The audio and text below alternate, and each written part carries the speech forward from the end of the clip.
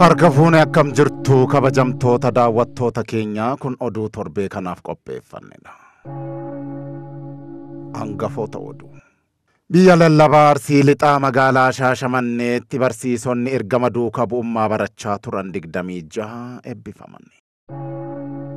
Biyyi lallabaa Dawaaroo kontaa tajaajiltoota fi geggeessitoota biyya lallabichaaf haala yeroo irratti leenjii kennuusaa ni ibse.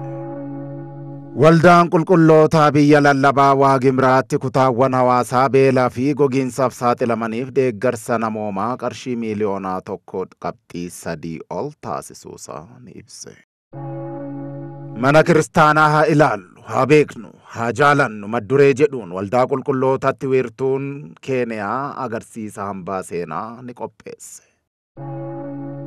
Haalli kenniinsa muudama lubummaa ulaagaa mataasaa karaa eegeen qofa raawwatamuu akka qabu hayyoonni mana kiristaanaa ibsani.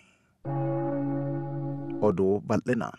Biyya lallabaa arsii lixaa magaalaa Shaashamanneetti barsiisonni ergama duuka bu'ummaa barachaa turan digdamii jaha eebbifaman. Daaqoon Taaddee Dajanee bal'ina oduu qaba.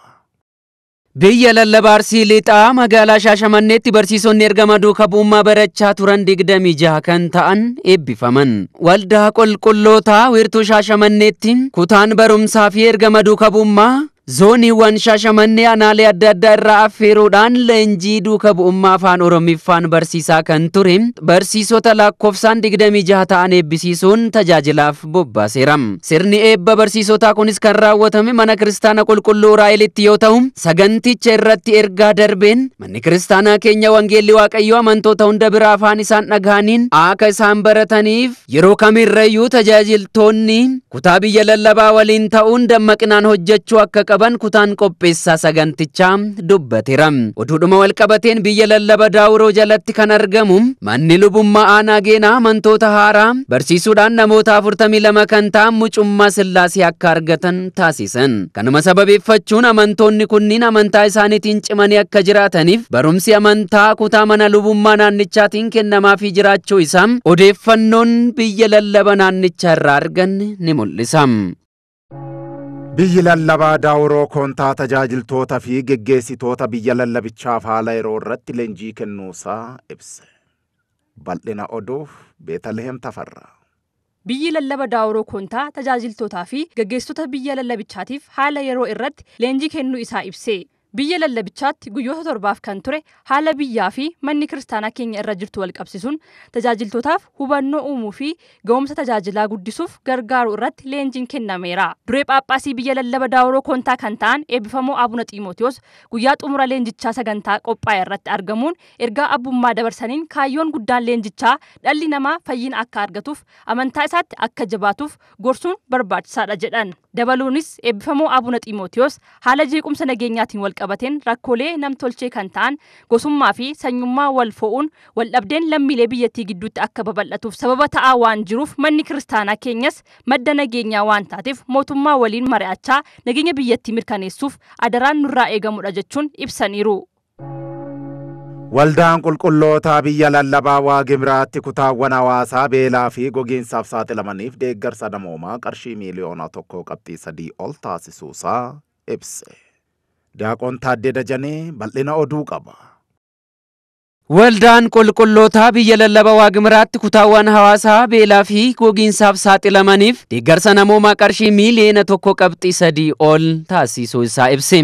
Waldaan qulqullootaa kaaba Ameerikaatti kan argamu waldaa Ba'aala Waldii jedhamu irraa deeggarsa qarshii argateen lammiilee naannaa Waagimraatti beelaaf saaxilaman abbaa warraa dhibba torbaa fi shaniif duqeetii qamadii kuntaala dhibba tokkoo fi afurtamii tokko olitti tilmaamamu gargaarsa taasiseera.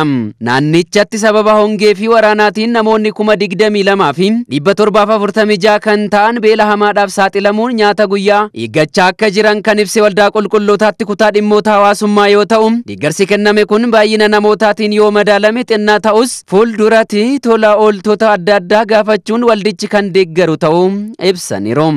lammiilee beelaan saaxilamaa jiran kana ammas lubbuu isaanii oolchuuf mootummaa fi dhaabbileen tola ooltotaas gara naannichaatti deemuun akka gargaaran ergaa isaanii dabarsaniiru. Xumura irrattis meeshaaleen nyaataaf oolan qarshii kuma saddeettamii shanii olitti kan tilmaamamu magaalaa Saqotaa keessatti kan argaman gadaamiiwwan afuriif akkasumas manneen abinnatii lamaaf kan raabsame yoo ta'u hojii gaarii fi fakkeenyummaa qabu kun cimee akka itti fufuuf kiristaanonni hunduu waldaa qulqullootaa cinaa dhaabbachuu akka qaban waamicha dhiyeessaniiru.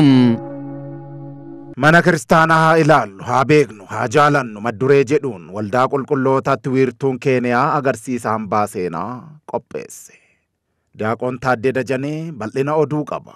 Mana kiristaanaa haa ilaallu, haa beeknu, haa jaalannus mata duree jedhuun waldaa qulqullootaatti wiirtuun keeniyaa agarsiisa hambaa seenaa qopheesse. Guyyoota lamaaf kan ture agarsiisni hambaawwan seenaa mana kiristaanaa kan durii fi qorumsoota har'a ishee quunnamaa jiran sababeeffachuudhaan magaalaa Naayiroobiitti kiristaanonni hedduun bakka argamanitti gaggeeffameera. Agarsiisni kunis kaayyoon isaa kiristaanonni haala yeroo manni kiristaanaa keenya irra jirtu akka hubatanii fi rakkoolee mudachaa jiran kanaaf tokkummaan ta'uudhaan furmaata gahaa ta'e kaa'uun akka danda'amuufidha. Jedhame.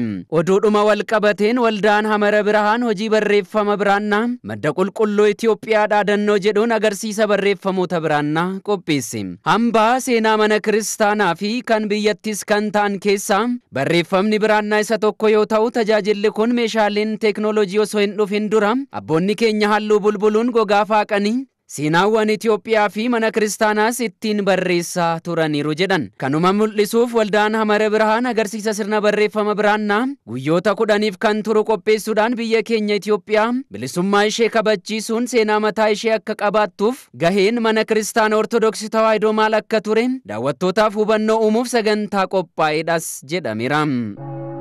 Haalli kenniinsa muudama lubummaa ulaagaa mataasaa karaa eegeen qofa raawwatamuu akka qabu hayyoonni mana kiristaanaa ibsani.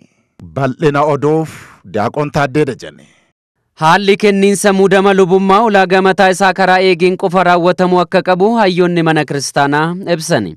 Kenniinsi aangoo lubummaa mana kiristaanaa keenya qoratamuu akka qabuu fi ulaagaa lubummaan barbaadu karaa guuteen kennamuun sirna mana kiristaanaa kan kabachiisu ta'uu isaa miidiyaa waldaa qulqullootaa waliin haasaa kan taasisan mana lubummaa olaanaatti hayyoo hayyootaa Yoosef Dassaaleeny ibsan. Manni kiristaana Ortodoks Tawaahidoo Itoophiyaa sirnoota ishee baay'ee kan raawwattuu fi kan raawwachiistu tajaajila aangoo lubummaatiin akka ta'e ni beekama.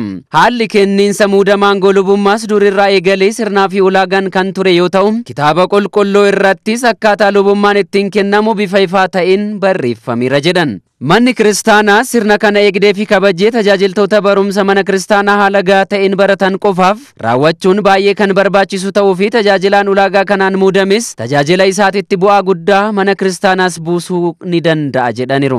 Haa ta'u malee haalli muudama aangoo lubummaa yeroo ammaa kana kennamaa jiru yeroodhaa yerootti ulaagaa mana kiristaanaa cabsee fi loogiin sanyummaa akkasumas qarshiidhaan wal qabatee qormaatilee lubummaa dhugaati kan jedhan hayyuun Yoosef Dassaaleeny kuni ta'uun isaa immoo manni kiristaanaa har'a qorumsa ishee mudachaa jiruuf sababa guddaa ta'eera jedhaniiru.